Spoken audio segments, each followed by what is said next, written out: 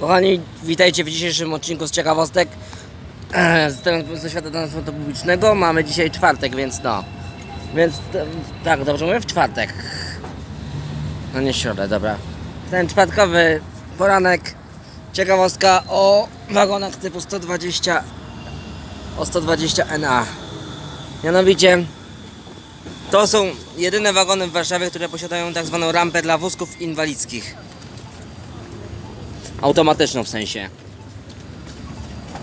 Uwaga!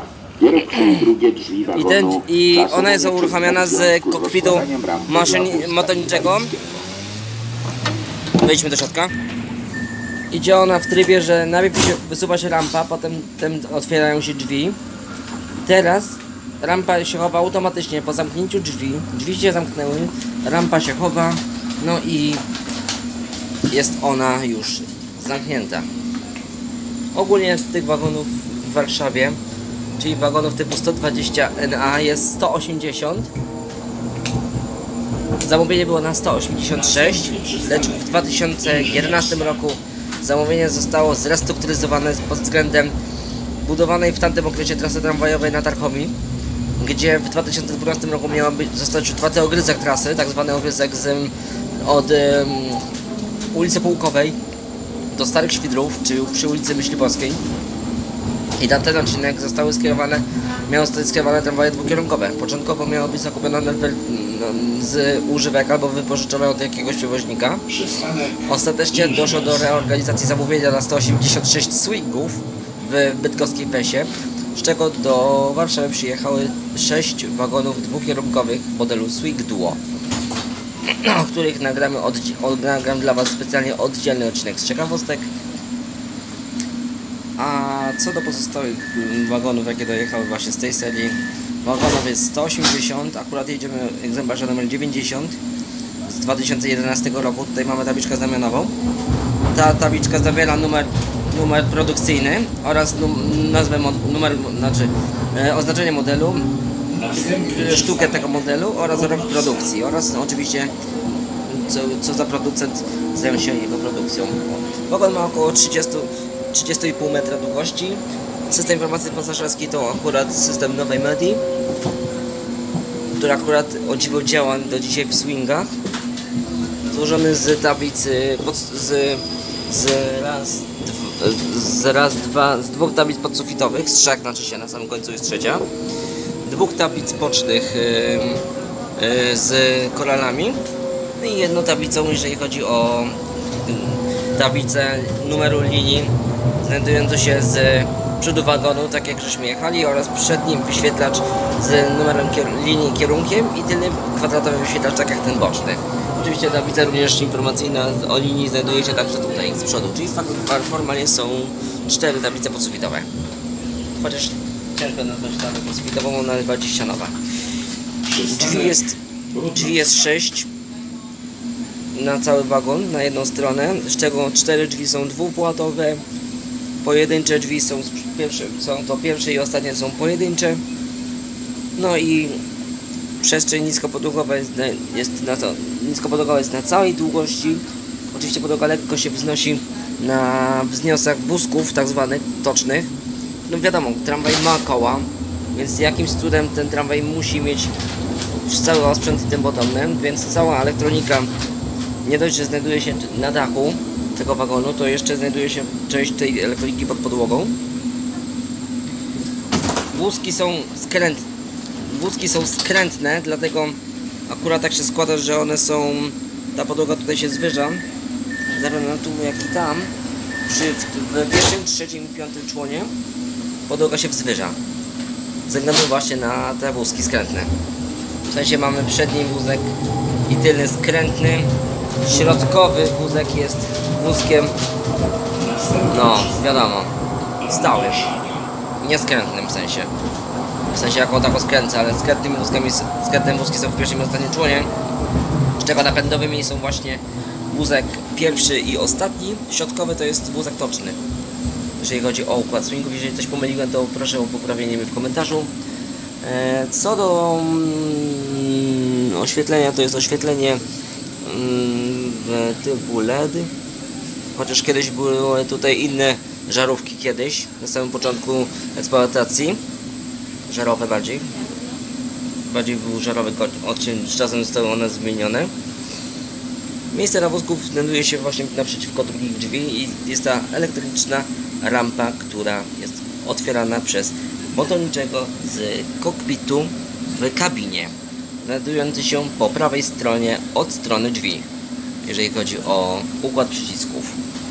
Standardowo w, w, w kokpicie mamy oczywiście dzwonek, sterowanie drzwiami, e, hamulec ręczny, znaczy ręczny, hamulec awaryjny, szynowy, a żeby na przykład tramwaj wycofać, to wyłącza się kabinę i na samym końcu wagonu jest tak zwany panel sterowniczy tylny, który służy do, manewr- do manewrowania tramwajem jadąc, ja- jadąc w, w kierunku wstecznym, prze- przeważnie na terenie zajezdni albo w wypadku pomylenia trasy.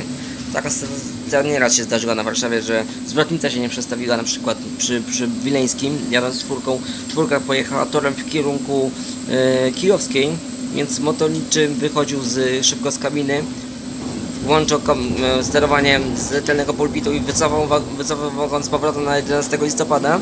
Następnie wychodził z wagonu, żeby zmienić zwrotnicę ręcznie, bo automatyczne sterowanie się zepsuło. No i wagon jechał potem już we- właściwą stronę, oczywiście po zdezaktywowaniu panelu sterowania z, tylnej, z- tylnego kokpitu i prze, przepięciu z powrotem na kabinę główną, to wagon pojechał powrotną, stronę w stronę mostu Śląsko-Dąbrowskiego i dalej na wyścigi. Jeżeli chodzi o, o informację dla motorniczego celem, że osoba niepełnosprawna chce opuścić wagon, to tutaj za moimi plecami znajduje się przycisk, który należy wcisnąć zaraz po ruszeniu z poprzedniego przystanku.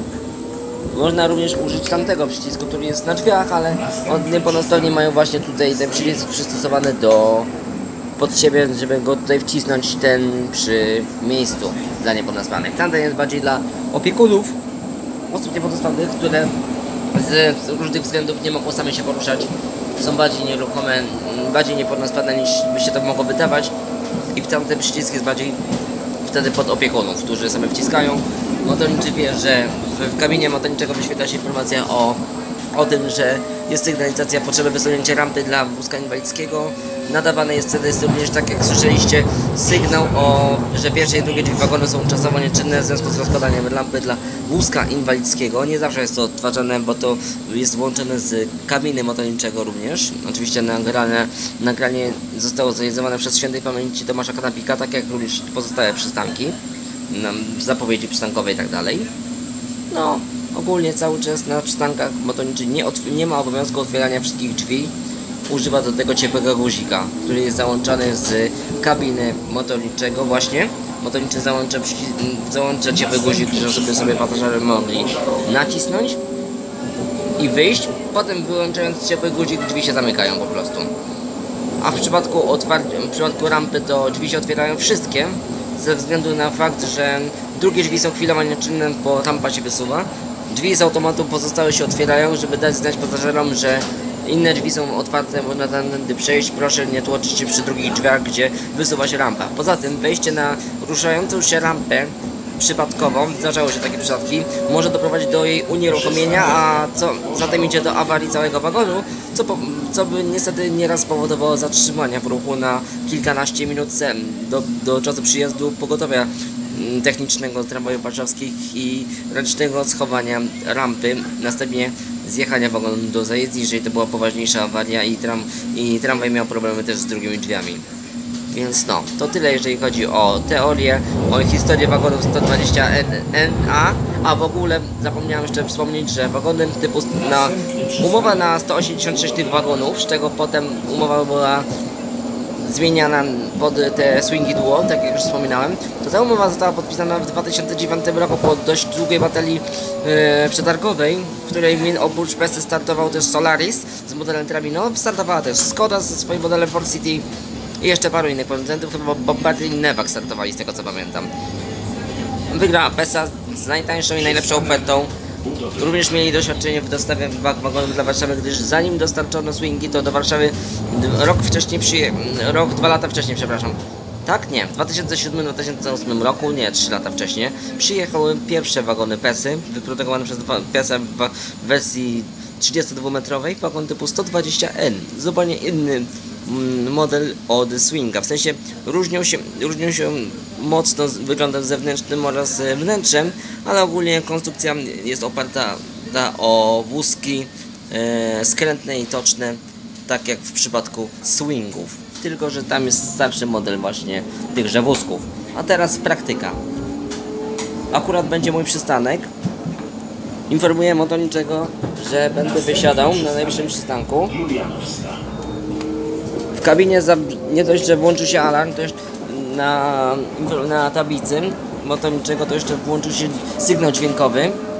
Tego na samym początku tego sygnału dźwiękowego nie było. Został on dodany z czasem na prośbę tramwajów warszawskich w ramach em, reparacji programu sterującego wagonem, w sensie modernizacji tego programu sterującego, co też spowodowało, że na samym początku swingi miały inny, zupełnie inny dźwięk e, wózków, że przy ruszaniu wydawały dosyć charakterystyczne piszczenie przy ruszeniu, a aktualnie swingi po zmianie programu, dzięki czemu wagony nie szarpią i o wiele są o wiele lepiej zsynchronizowane z, z, z tym tak zwanym grzybkiem, czyli z naszą dźwignią do sterowania wagonem, to jest w tej chwili wagon rusza gładko i jedzie gładko. Tutaj akurat przycisk jest przypalony, on powinien się świecić. No to akurat bolączka niektórych swingów po wieloletniej eksploatacji. Przy okazji informacja dla miłośników, którzy interesują się podziałem taboru. Praga już od 1 września jeździ obecnie na czwórce. To jest wóz praski akurat. 3205 dla że dostaje z Praga. Więc to jest akurat nowość po długoletniej przerwie. A teraz otwiera się rampa. Uwaga! Pierwsze i drugie drzwi wagonu czasowo nieczynne w związku z rozkładaniem rampy dla wózka inwalidzkiego. Dokładnie, motorniczy załączył. My aktualnie wyjeżdżamy z wagonu. Teraz zamykają się wszystkie drzwi.